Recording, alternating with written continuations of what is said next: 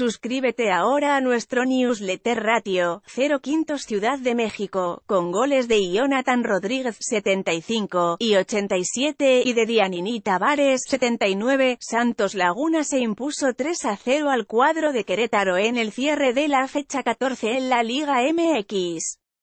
En 15 minutos, el conjunto de la Laguna desplumó a unos gallos blancos que hasta el 74 se sentían confiados de llevarse un punto del TSM. Sin embargo, el doblete de Rodríguez y el tanto de Tavares pusieron la balanza en favor de los locales que con este triunfo llegaron a 29 unidades para colocarse solo debajo de Toluca y de esta manera sellaron su pase a la liguilla del fútbol mexicano a falta de tres jornadas para que concluya el certamen.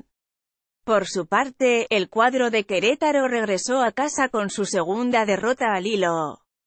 Los emplumados se quedaron con 16 unidades y aún con vida en la liga aunque tendrían que ganar sus tres partidos restantes y esperar combinación de resultados para poder acceder a la fase final. El Universal, EVZ 8 de abril de 18 calificar la nota, 0 rating, yo expreso, repórtanos por WhatsApp 662-126-2721X resultados de la encuesta. Bye.